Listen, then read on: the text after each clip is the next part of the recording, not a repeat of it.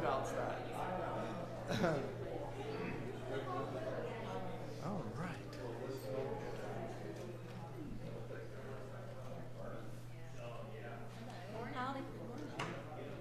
You ready to play?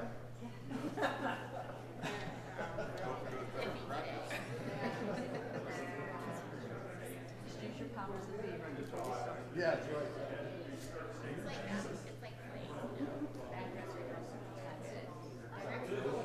What's that? A little prayer? Yeah. You just- I don't know if that's the word. I can curse you. I don't even know if I'm doing it right yet. We already have Ted's numbers. Has he? He enjoyed it. huh? It is a great to read the Bible. It really is. Yeah. Do, do, do, do, do, do, do.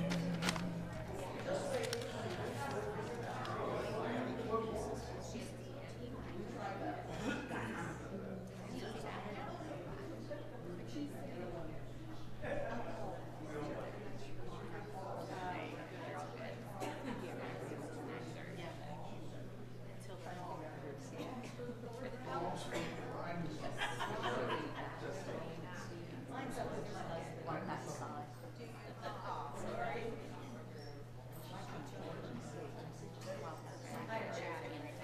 Can you wave these in front of us? We have ballots, we can't. Are you stressing over the mallet?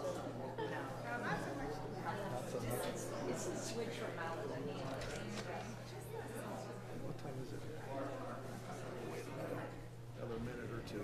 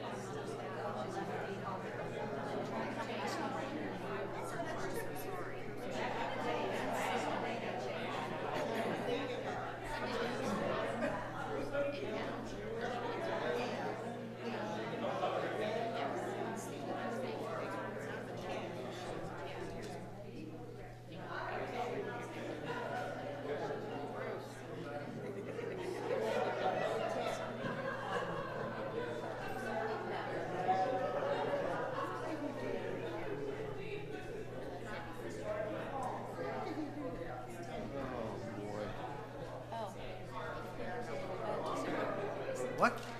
Is there a reason that's on Yeah, there? I- I'll show you. Oh, okay, there's a purpose for it. I wanted to share my story with everyone.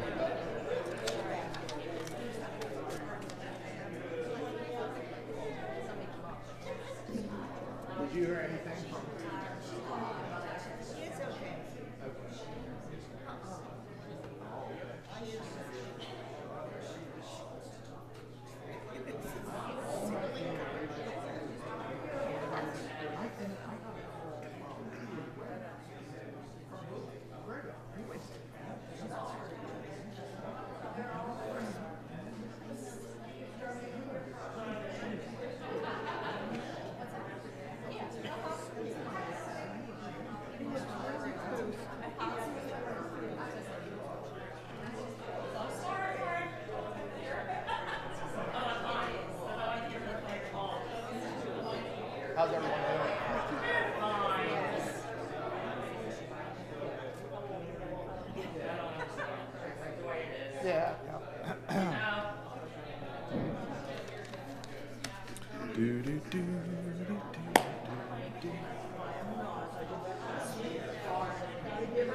Okay, good morning, folks. Happy Palm Sunday. Did everyone get some palms? If don't make me think about that, okay? I'm not handing any more of them out. There's a reason for that. Okay, so if you want some palms, come on up and, and grab some. Hey, I wanted to share with you uh, this week, all of a sudden, bam, it like hit me that uh, Easter's next week. And uh, if, you, if you remember, you know, we have that, that large Paschal candle. It's called a Paschal candle that's here, okay? And uh, I thought all of a sudden, oh my goodness, I need to get another one of those. If you've ever questioned the R value, the R value of stained glass, I will show you what it is.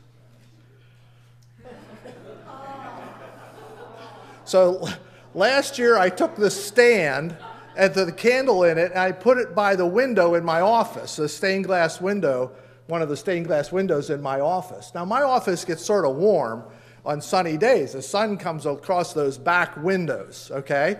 And uh, it gets a little warm in there. It, you know, with the, um, when it's windy outside, you can actually feel air through the stained glass. Like that's that's that that's why I say the R value. So I look up one day after a hot sunny day, and that's my Paschal candle from last year. So we're not going to use that one. I had I actually thought about trying to trying to heat it up, but it was easier to just buy another one. So anyhow, that's my uh, that's my my candle. So hey, um, speaking of which, leading up to Easter, this is a this is a really cool week coming up here. This is this is it. Like this this week, everything about this week. This is what defines us as Christians. This is it. It's not Christmas, you know. It's not Christmas. It's this week. It's Easter. It is the death and resurrection of Jesus Christ that defines us as Christians, defines us as we are. So, uh, what I'd like you to be aware of is there are numerous services coming up this week. Maundy, Thursday, Thursday evening is Maundy, Thursday. What is Maundy, Thursday? Okay? Maundy, Thursday, and there's a reason it's a Latin word kind of thing, but whatever. The, the, what happened Thursday night of the week that Jesus um, was, uh, was crucified. Thursday night is what we call the Last Supper. That, that is when the Last Supper was, was celebrated together. And it was on Friday, Good Friday, well, it was that night, Thursday night, that Jesus was arrested. And of course, it was Friday that he was crucified, okay? So Thursday night, what we call Maundy Thursday, is the night that we celebrate the Passover, or uh, uh the, the final Passover, the sharing of the bread and the cup. So Thursday night is communion because that's what Jesus did Thursday night. Okay? So I would invite you to come out for that to share communion, again, to commemorate what Jesus did that, that evening. That is, we call it, it, it is the final Passover, the last Passover meal celebrated. The Passover happened in Egypt when a lamb was slain in each home, and the blood of that lamb was painted on the doorposts of the home in, when the, when the uh, Israelites were slaves in Egypt. And the angel of death visited Egypt that night, but spared the children in the homes that were marked by the blood of an innocent lamb. Okay? That's, that's when Passover started. Okay? What Jesus celebrates on Thursday night is the final Passover. Okay? The Lamb of God is about to be slain for the world. Okay? So note, you know, we say these words, we think about these things, we say these words, but you need to understand what it's all about. Okay? So that's Thursday. Friday, Good Friday, obviously, is the day that Jesus is crucified. And we have not done this before, but typically uh, it has been uh, celebrated in many churches that it, it is thought that Jesus hung on the cross for three hours, between the hours of 12, noon, and 3 noon and 3.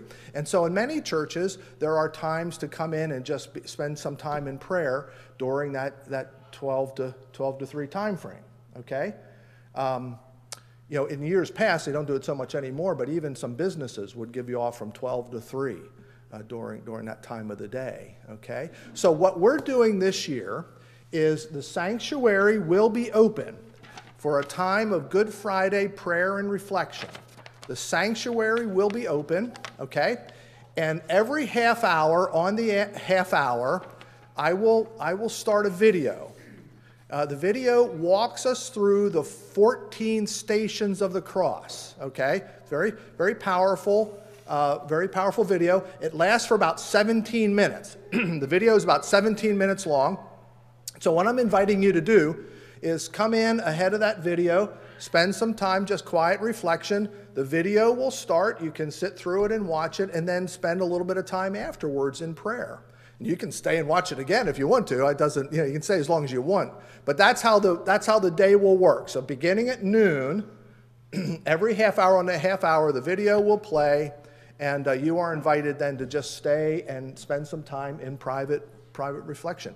If you've not done that before, I encourage you, if you can, if you can get here, if you're not working, um, that you would you would give you would try that. You would try that. We we so seldom allow ourselves to just stop, to just stop and be in God's presence. We, we so seldom do that. This is a perfect day uh, to do that. Okay? 12 to 3. If you have any questions, uh, let me know. Give, give a, a call to the office.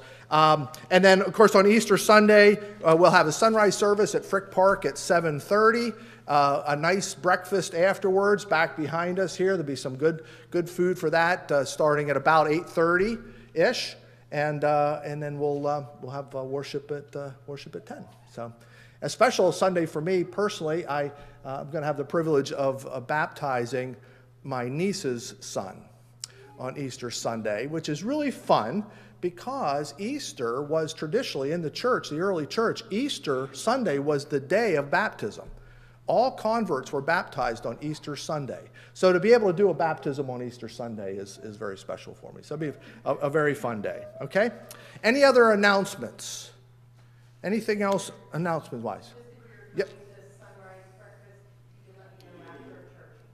Yes, if you're going to come to breakfast on, uh, on Sunday, if you're thinking you might get here for all or part of it, let's, let's make it easy. Anyone who thinks they're going to get there for all or part of breakfast next week, raise your hand. Come on, hands go up. Lots of hands. You get an approximate number. You don't need names, just get, just get numbers, okay? Come on out for breakfast, it'll be fun. Okay? All right, let's worship together. Thank you.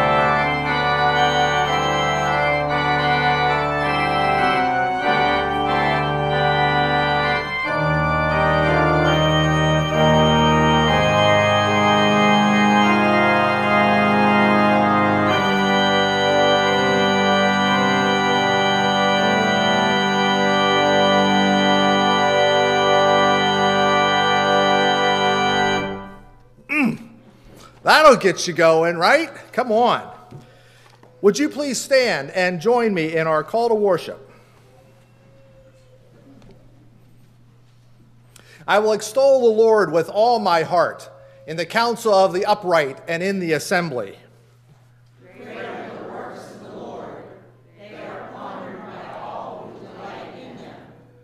Glorious and majestic are his deeds, and his righteousness endures forever. He has caused his wonders to be remembered. The Lord is gracious and compassionate.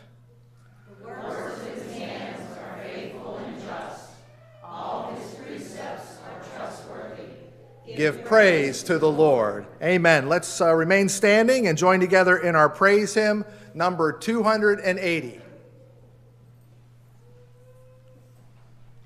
Oh, that's there's a little lesson going on here, right? We're just starting right into it. Okay, wait, let me get out of your way.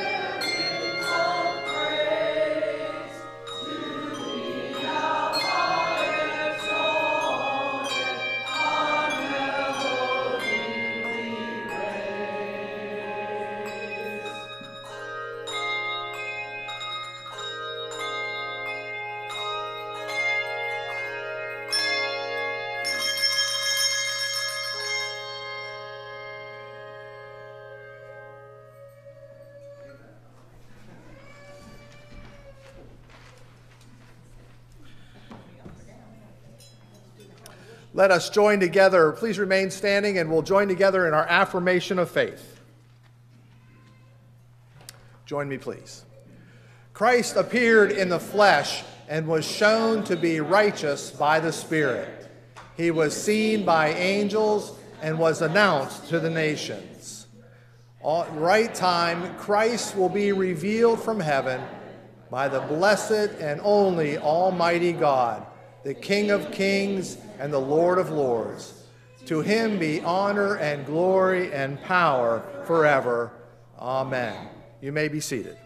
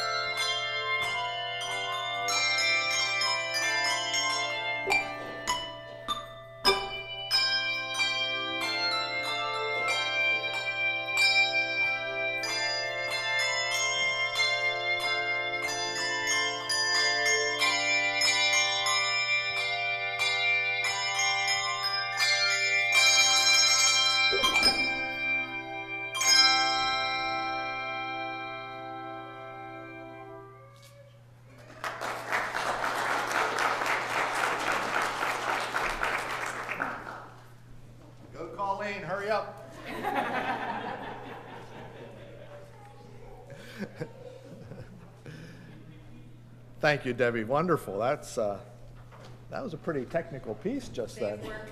Really hard. Yes, yes. I'm always interested to see uh, uh, what uh, how Jill feels when she comes home from practice on Wednesday night. I always get a sense of uh, you know how it's going to go on Sunday, kind of thing. So, good stuff there. Was that distracting, Colleen? Were you able to keep rhythm with?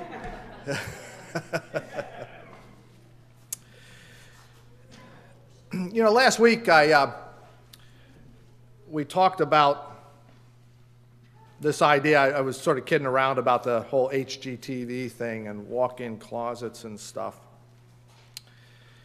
And um, you know, it is something to to kid about a little bit, but you know, it sort of came home to me this week.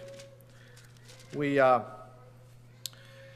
we mourn the loss of uh, Wayne Malone this week, a, a man who lived uh, a good long life, a good long life, right?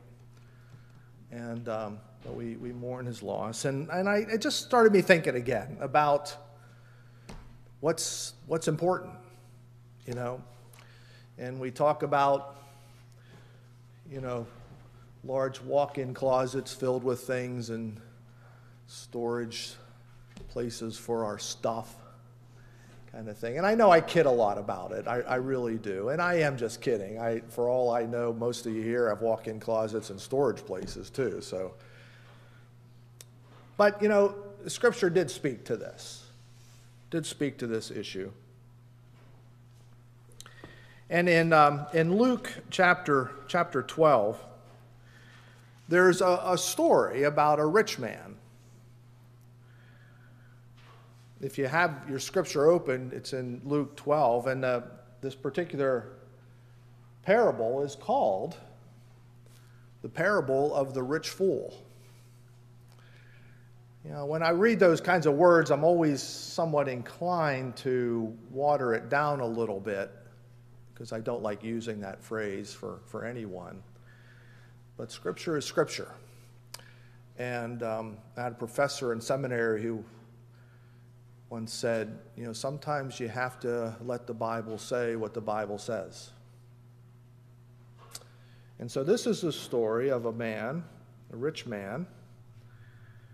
And Jesus tells this parable. He says, The ground of a certain rich man produced a good crop. And he thought to himself, What shall I do? I have no place to store my crops. Now, again, putting, putting it more in modern terms, we don't, we don't grow crops. We here don't really have crops that we have to worry about storing. But what do we have? We have our stuff. I have no place to store my stuff. And then he said, This is what I'll do I will tear down my barns and build bigger ones, and there I will store all my goods. And I'll say to myself, You have plenty of good things laid up for many years. Take life easy, eat, drink, and, and be merry. But God said to him, You fool, you fool. This very night your life will be demanded from you. Then who will get what you have prepared for yourself?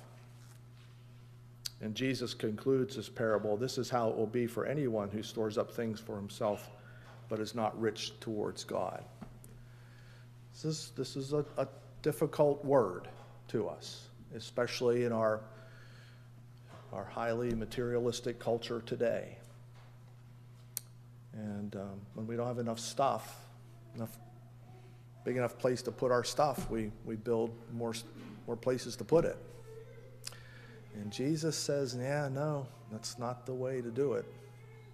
Because then that becomes our focus. That becomes what we're what we think about. It's interesting that the next section of this particular chapter is entitled Do Not Worry.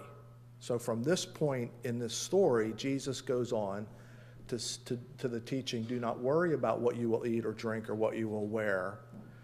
All these things will be provided to you, but seek first the kingdom of God. So you see, God, God puts those two in back to back with each other. Don't store up for yourself things on this earth, but also don't worry about the things of this earth. I will provide them for you. You do not need to build for yourselves bigger barns. You don't have to build bigger areas to store your to store your stuff just to think that you're protecting yourself somehow. I think in our culture today, it has nothing to do with protection. It's just we want more stuff. And Jesus is saying, yeah, no, that's not the way to do it. And it made me think about that as I, as I thought about Wayne. I know a little bit about the life of Wayne, obviously, the Malone uh, family. And um, he lived a rich life and did not store up for himself things on this earth. And at some point, for every one of us, God's going to say, Tonight, your life is required of you. Where will we have put our faith and trust? If the usher would come forward, please.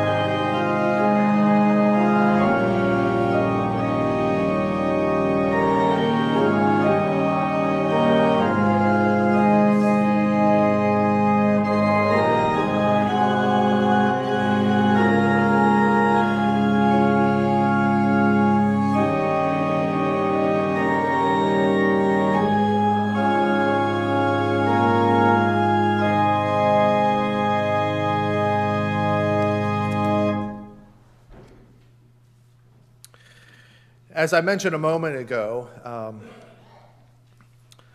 Wayne Malone uh, passed this week after a relatively brief illness. Uh, Wayne is the husband of Carol Malone, uh, father of, of Mark, and um, grandfather of Kayla and Randy. And so we will celebrate his life uh, here on Wednesday. The viewing uh, and the service both will be here at the church, in the church, in the sanctuary. Uh, the viewing will be from uh, 10 to noon, 10 to 12, and the funeral will happen right, uh, right at the 12 or right after the, the viewing. Uh, I, I've neglected to mention, uh, because of that, we will not have uh, Wednesday Bible study this week. For those of you who attend the Wednesday Bible study, we will not have Bible study this week. Uh, but I would encourage you, if you have some time, to, to come out and celebrate the life of, of Wayne Malone and uh, support uh, the Malone and Lawfer family in their, in their time of, of grief. Wayne was 94, and I have to tell you, you know, even in the hospital, laying there, he, he was a healthy looking 94. Unfortunately, you know, some things messed up inside, but uh, boy, I, was, I would not have guessed him at 94. Um, also, to let you know, I visited with uh, Molly this week. Uh, she's doing well. Uh, I, I think it would uh, take the second coming of Christ to keep her from coming to church on Easter Sunday. Uh, so um, I, I, suspect we'll see her next week. But I did get a call from her afterward, sadly, that her, uh, her son in law uh, in Texas has been diagnosed with leukemia recently. And um, so we want to continue to, uh, we want to lift up her family in, this, in this time. I, I do not I want to say Craig, but don't hold me to that. I don't remember his name off offhand. But uh, married to uh, to Molly's daughter. They live in in uh, the Houston area, I believe.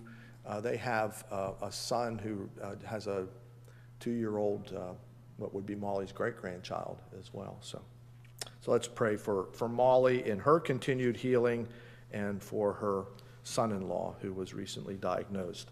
Um, you know, we talk about this whole thing with cancer. It just seems to, you know, seem to be hearing about it a lot. You know, I, I can't help thinking, of course, about the the princess. What's her name? Kate. Kate. I forgot her name. Um, clearly, uh, an indicator that cancer is no respecter of persons, right? It can hit any family, anytime, anywhere. It doesn't matter what your status is what your wealth is, none of that matters. Uh, it, it can affect us all. And we're, we're certain, it's interesting, on that, the night that I saw that report, uh, there was also a follow-up report about uh, a significant increase in cancer in, in, younger, especially in younger people, uh, younger being under like 50 kind of thing. So let's, let's be in prayer uh, about that for, for, for her, for everyone. Let's pray.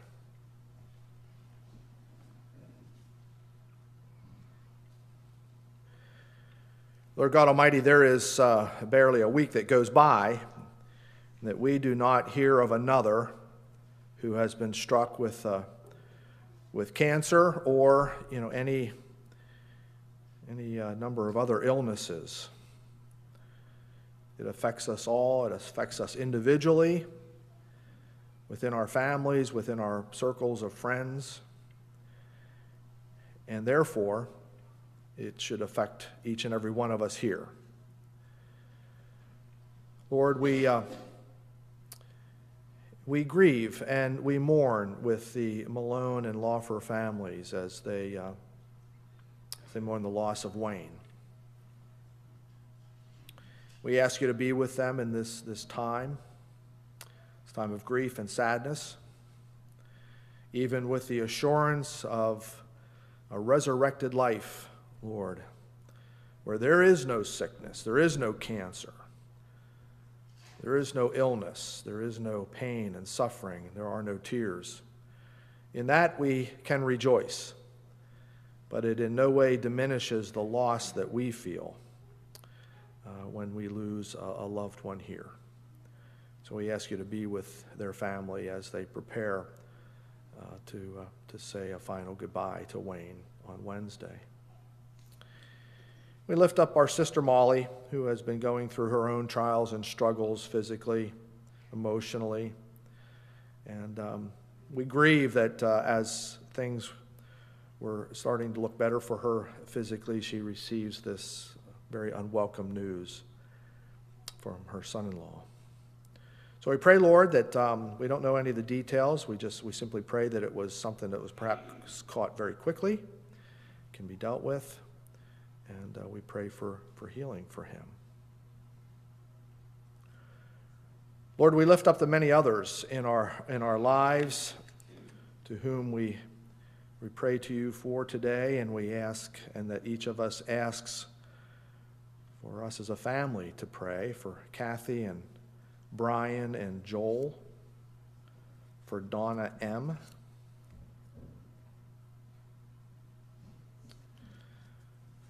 For all those facing cancer, and for Princess Kate, that was here as well.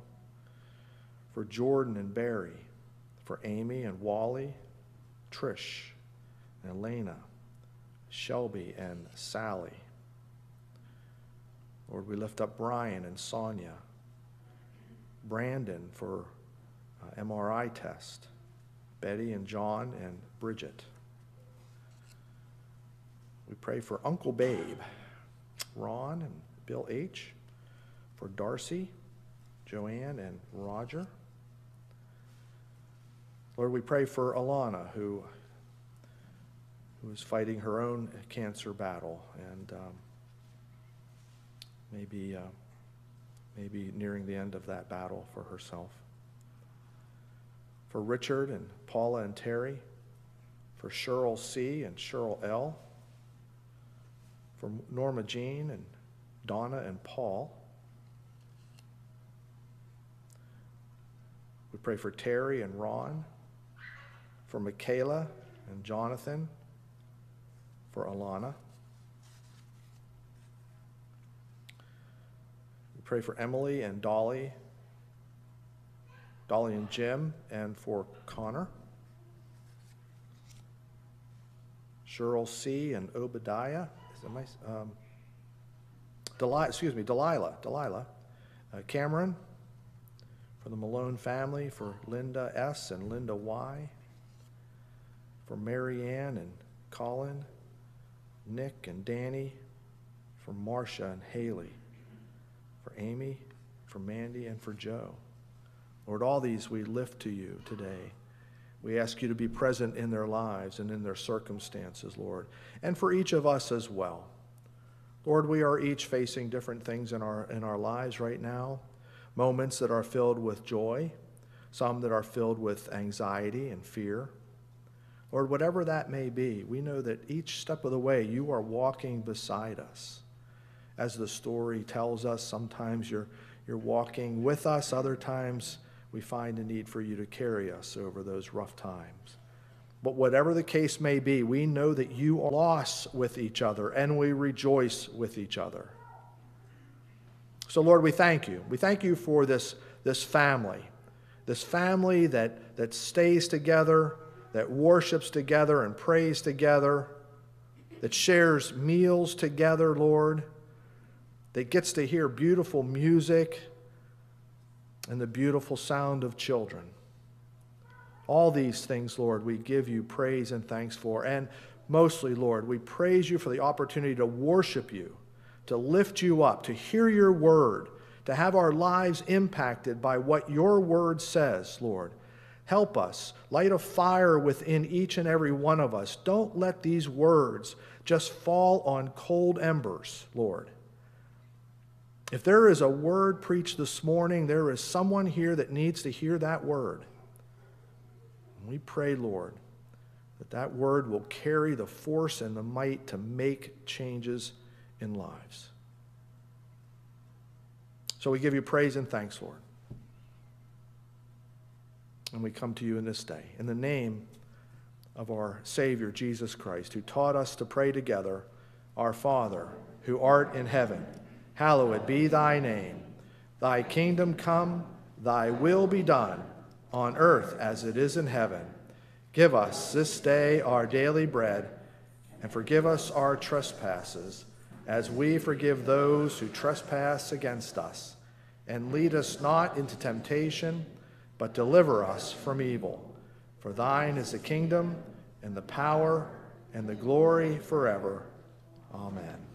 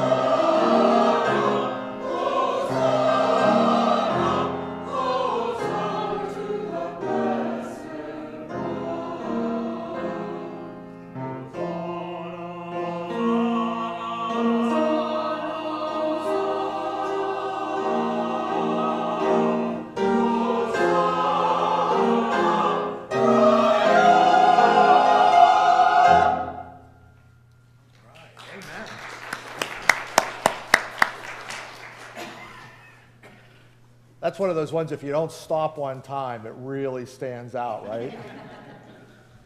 Colleen, we could put some toys in this back hallway here. You could shut her in there. As long as she doesn't learn how to hit that blue button, she'd be, she'd be fine for a song, I think.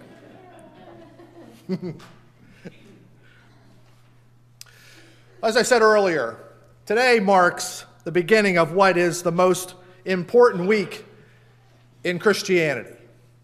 Not one of the most important weeks, the most important week in Christianity.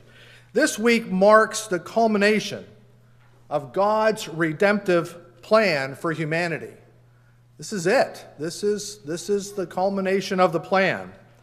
This is what defines us as Christians the crucifixion and the resurrection of Jesus Christ, death defeated. Today marks the beginning of Holy Week with Jesus' triumphal entry into Jerusalem. But what about this past week? What was happening in the life of Jesus entering the week before he enters into Jerusalem on this day?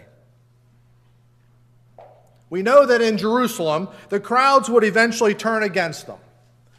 And they, when they would finally realize that Jesus was not going to be the conquering Messiah that they thought he was going to be, that they had expected. But what led up to this day? To this day? Let's read the story in Mark chapter 10.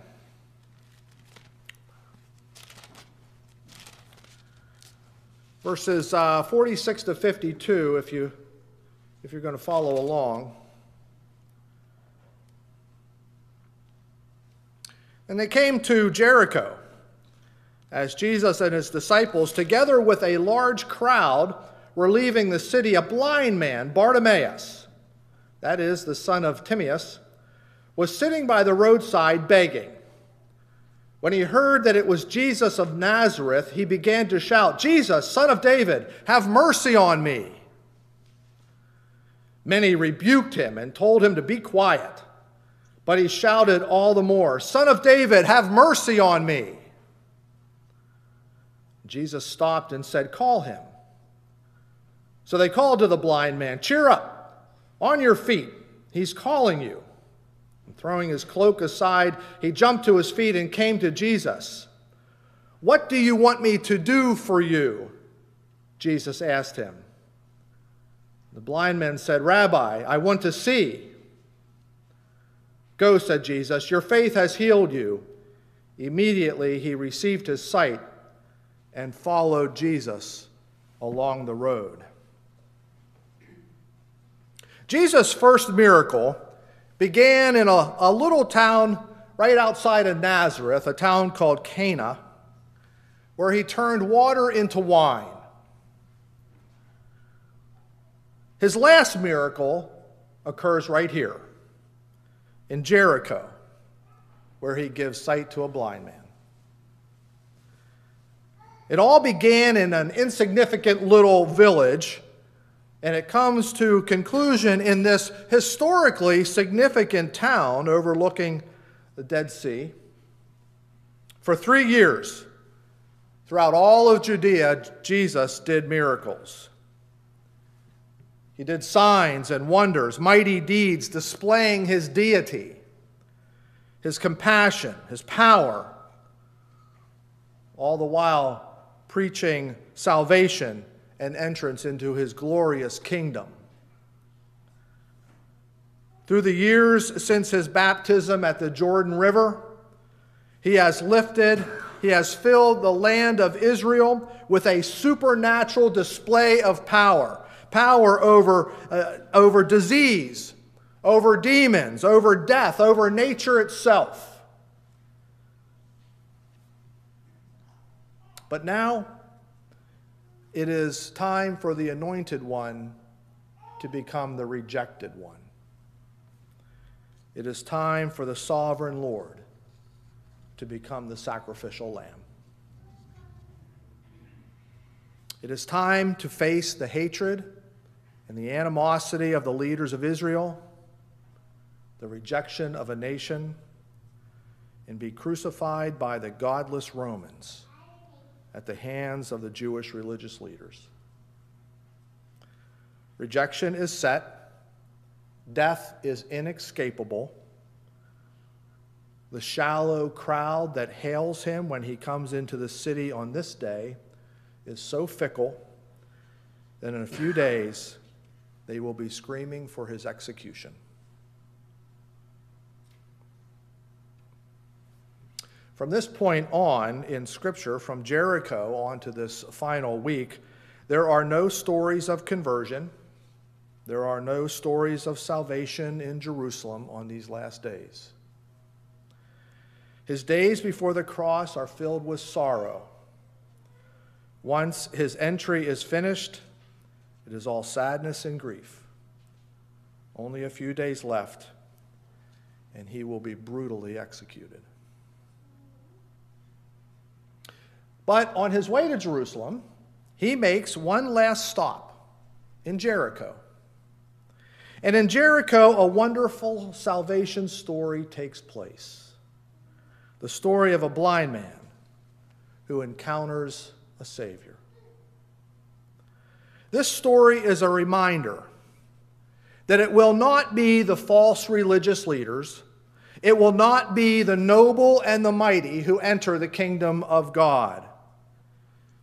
It will be the poor, the outcasts, the nobodies, and the nothings. A large crowd is with him, as indicated in the text. These people are following Jesus because they know about him and because they too are on their way to Jerusalem to celebrate the Passover. Jericho was a large and prosperous city, about a six hour walk from Jerusalem. The place would have been a buzz, filled with all kinds of sights and sounds and smells. With Jesus coming into town and all the pilgrims pouring through Jericho on their way to Jerusalem, there would have been a flood of people, a flood of people, and they knew that Jesus was coming. So the crowd swells with curiosity seekers, and the streets are lined with people. It is Passover excitement, elevated and intensified, because the one who would be Messiah is coming into town.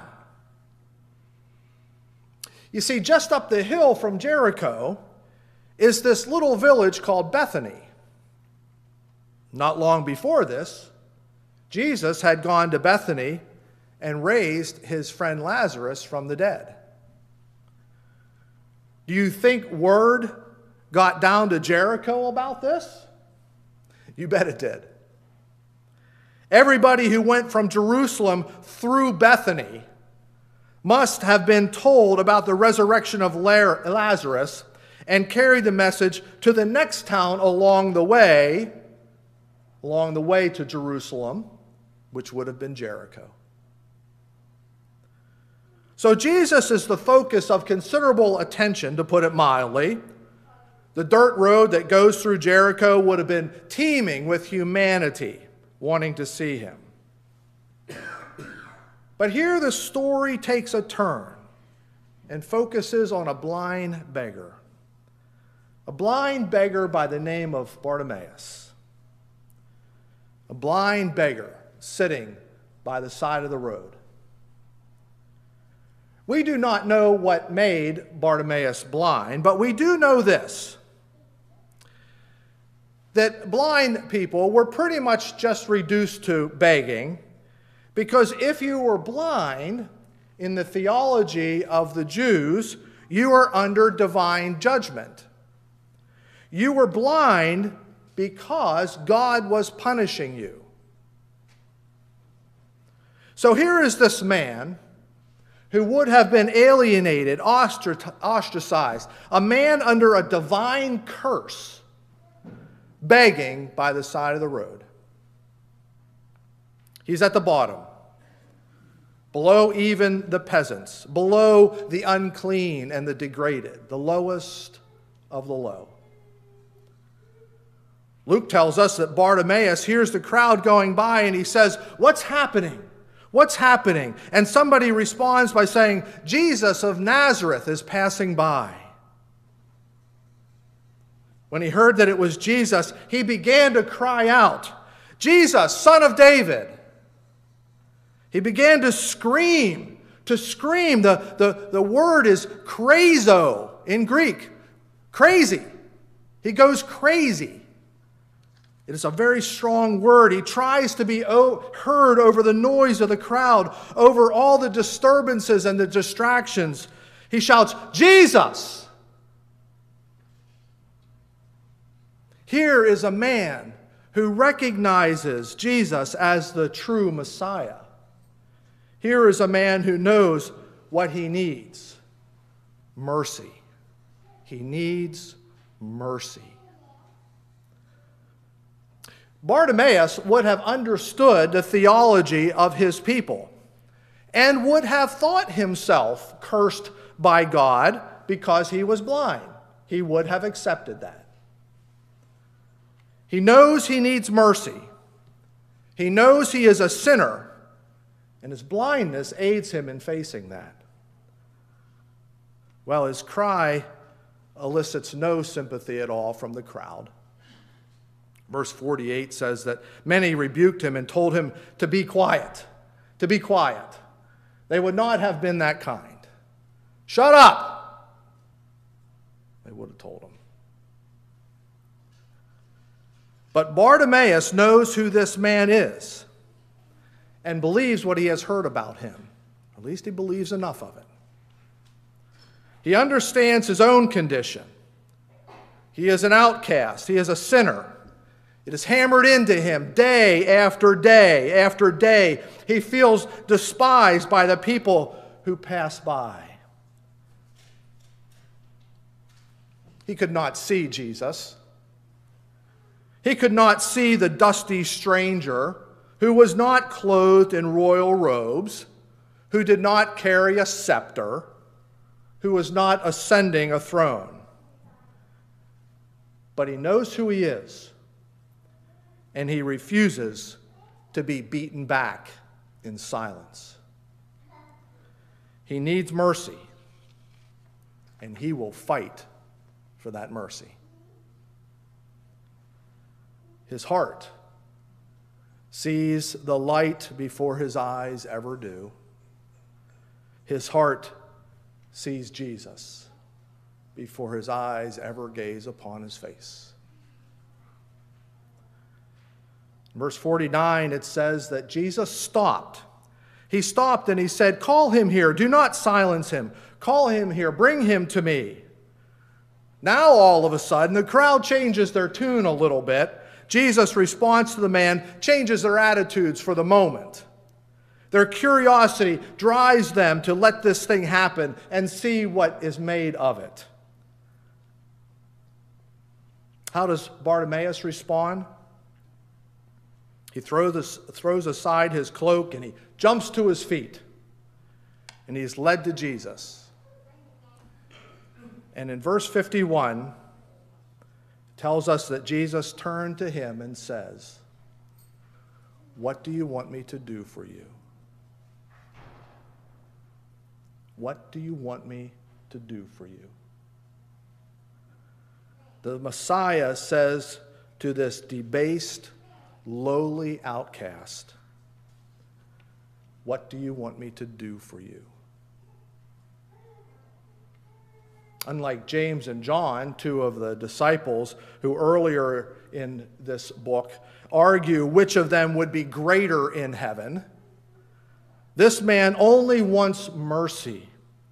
He knows he deserves nothing. He is not laying claim to something. Mercy means to give what someone does not deserve.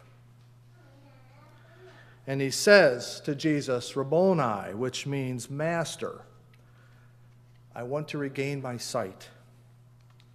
I want to see. According to Mark's, uh, excuse me, Matthew's account, Jesus then reaches up and touches his eyes. In Mark, Jesus simply says, Go, your faith has healed you. And he receives his sight. This then is more than just a healing. When Jesus says to him, Go, your faith has healed you, the word for healed is Iona. Iona. That is not the word that Jesus uses in this passage. Jesus uses the verb sozo, which is the word that we translate into saved. Saved. Jesus says, Your faith has saved you. Bartimaeus comes out of his blindness into sight, and out of sin into salvation. And the passage finishes by saying that Bartimaeus followed Jesus along the road. No kidding, right? I believe Bartimaeus followed Jesus all the way to Jerusalem. He stayed with them throughout that week. I believe that Bartimaeus absolutely would have been counted one of the, the 120 that were in the upper room when the Holy Spirit filled that room. Can you grasp the picture here? A man who cannot go anywhere, who is stuck as a beggar because he cannot see, who is hopeless unless Christ comes to him. Is that not the picture of every sinner? Hopeless, sitting by the road, if perchance the healer and the Savior may come by. Jesus went to the bottom of Israel, to the lowlands of Jericho, to claim a blind beggar for the kingdom of God. And scripture says when all the people saw it, they gave praise to God. What else could they do? How else would you explain it? To them, Jesus did not just give sight to a blind man, a remarkable event in and of itself, but he showed authority over sin. He demonstrated the authority of God. Is it any wonder why they would have followed him to Jerusalem?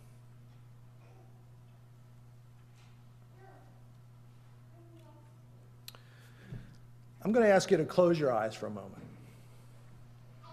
Just close your eyes.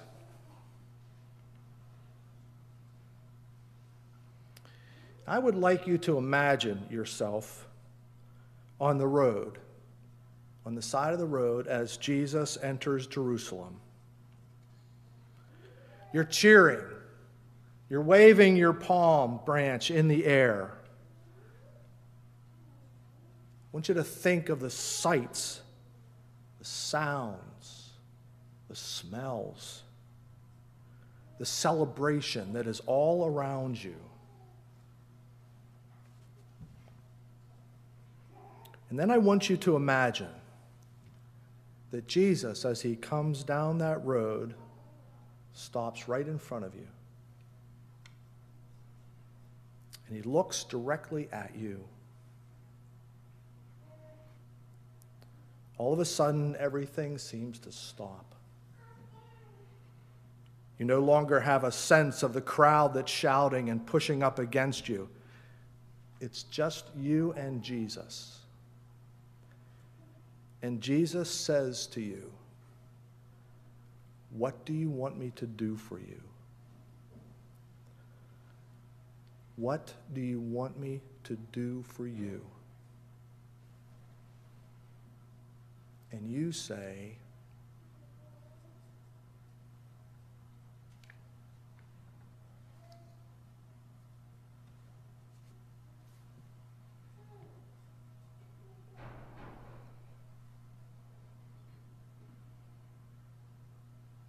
Heavenly Father, help us to remember that as we celebrate on this day, that although the crowds cheer, you enter Jerusalem with a, a heavy heart.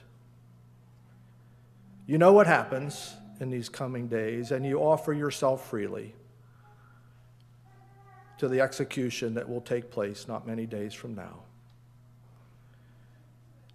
And you do it all for us to have mercy on us.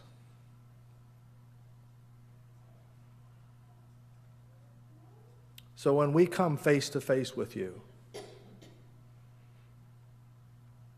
and you ask of us, What do you want me to do for you?